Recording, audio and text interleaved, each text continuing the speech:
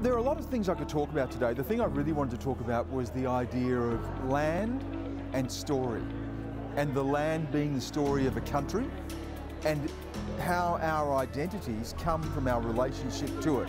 That's just not Indigenous people, that's all of us in this country.